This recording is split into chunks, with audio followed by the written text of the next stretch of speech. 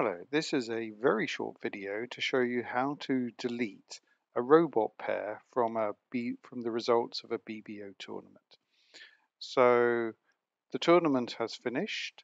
I've run the BBO extractor Chrome extension to generate my CSV file and I've loaded the names into the second phase of BBO extractor you can see here 479 names and normally I just create the XML file.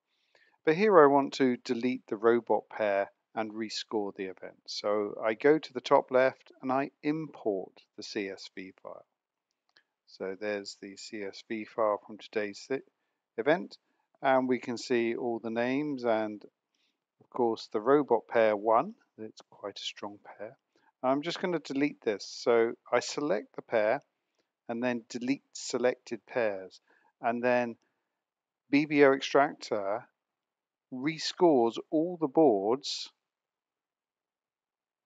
and generates a completely new uh, result for me. So I save this as CSV. So that saves it. And then I go back and I can now create the XML file with the new CSV file which will be the one that's dated later here. It's actually got a 1 on the end of it.